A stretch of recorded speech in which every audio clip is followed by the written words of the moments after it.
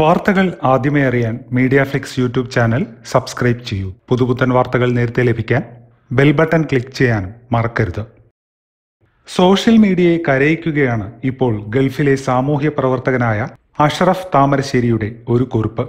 പ്രവാസത്തിന്റെ ദുരിതങ്ങൾക്കും കഷ്ടപ്പാടുകൾക്കുമിടയിൽ ആശ്വാസത്തിനായി ഭാര്യയെയും മകളെയും ഗൾഫിലെത്തിച്ചെങ്കിലും വിധിയുടെ ക്രൂരതയിൽ ഇഹലോകം വെടിഞ്ഞ ഒരു പ്രവാസിയെ പറ്റിയുള്ള കുറിപ്പാണ് ഇത്. അഷറഫ് കുറിക്കുന്നത് ഇങ്ങനെ. മലപ്പുറം അങ്ങാടിപ്പുറം സ്വദേശി രാജീവ് മുപ്പത്തിമൂന്ന് വയസ്സ്. ഹൃദയാഘാതം മൂലം മരണപ്പെട്ടു. ദുബായിലെ ഒരു സ്വകാര്യ കമ്പനിയിൽ ജോലി ചെയ്തു വരികയായിരുന്നു. കഴിഞ്ഞ രണ്ട് ദിവസങ്ങൾക്ക് മുമ്പ് നെഞ്ചുവേദനയെ തുടർന്ന് ആശുപത്രിയിൽ എത്തിച്ചെങ്കിലും ജീവൻ രക്ഷിക്കാൻ കഴിഞ്ഞില്ല.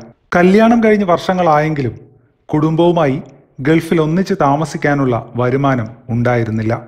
ഈ അടുത്ത കാലത്താണ് നല്ലൊരു കമ്പനിയിൽ ജോലി ശരിയാവുകയും ഭാര്യ രമ്യയെയും മകളെയും ഗൾഫിൽ കൊണ്ടുവരികയും ചെയ്തത്.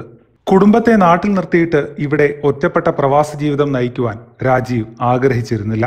എന്നാൽ നല്ലൊരു ജോലി ശരിയാവുകയും ഭാര്യയെയും മകളെയും ഇവിടെ കൊണ്ടുവരികയും ചെയ്തപ്പോൾ വിധി മറ്റൊന്നാവുകയായിരുന്നു. ഭർത്താവുമായി ഒന്നിച്ച് ജീവിക്കാമെന്നുള്ള ആഗ്രഹത്തോടെ ഗൾഫിലേക്കെത്തിയ ഭാര്യയ്ക്കും മകൾക്കും രാജീവിന്റെ മൃതദേഹവുമായി നാട്ടിലേക്ക് പോകേണ്ട അവസ്ഥ. നമ്മളൊന്ന് ആഗ്രഹിക്കുന്നു. വിധി മറ്റൊരു രീതിയിൽ പ്രവർത്തിക്കുന്നു. ഇതാണ് ജീവിതം. പ്രവാസ ലോകത്ത് ഹൃദയാഘാതം എന്ന രോഗം ഇപ്പോൾ പരിചിതമായിരിക്കുന്നു.